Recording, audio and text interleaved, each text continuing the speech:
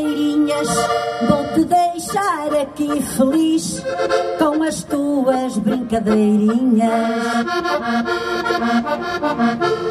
Ruizinho de Penacova, Carminha, Domingos da Soalheira, Daniel Lopes e Bolsas subiram ao palco do Largo de Camões, em Ponte de Lima, para uma tarde de cantares ao desafio. E nós procuramos ir de encontro àquilo que também as pessoas que nos visitam procuram, que é um bocado das tradições e os cantares ao desafio são uma tradição também aqui do nosso Conselho. E este ano, pela primeira vez, fizemos este palco aqui na, na, no Lar Camões, no, na sala de acolhimento, não é? Em que demos a estes cantadores ao desafio a possibilidade também de mostrarem um bocado desta arte desta tradição que é os cantares de desafio. E está aqui uma moldura humana que diz tudo, que as pessoas apreciam. Por isso acho que nós no, no, no Conselho, no município, tentamos ter um pouco para todos os tipos de, de, de, idades, daquilo que as pessoas procuram. Acho que há lugar para todos os tipos de espetáculo e um deles é este, os Cantares Desafios, que são as nossas tradições. São os melhores cantadores que, que existem no país. Ou seja, não são os melhores, mas são dos melhores cantadores que existem no país. Porque, se você reparar, os cantares ao desafio eh, que estão aqui a ouvir hoje eh, são duas quadras a cada um. Eu cantar ao desafio é duas quadras a cada um. E há muitos cantadores ao desafio que, que cantam cinco, seis quadras de uma vez e, e não dizem nada.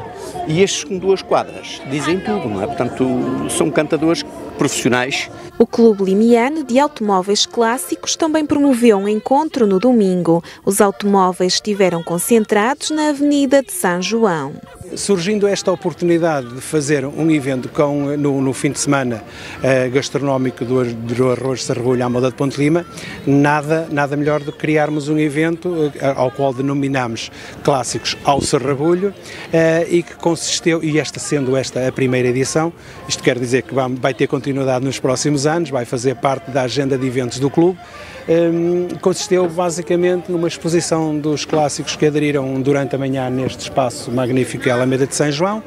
A exposição, depois uh, demos uma voltinha em desfile até, até a Casa de São Sebastião em São Pedro de Arcos, onde, como não poderia deixar de ser, uh, o repasto consistiu exatamente no arroz de serrabulho e estava magnífico, correu muito bem. Uh, tivemos cerca de 50 viaturas, à volta de 100 pessoas que ficaram encantadas com o dia, com a hospitalidade, com a gastronomia e, claro, com arroz de sarrabolho à moda de Ponte de Lima. Ponte de Lima registou no fim de semana a visita de largos milhares de pessoas.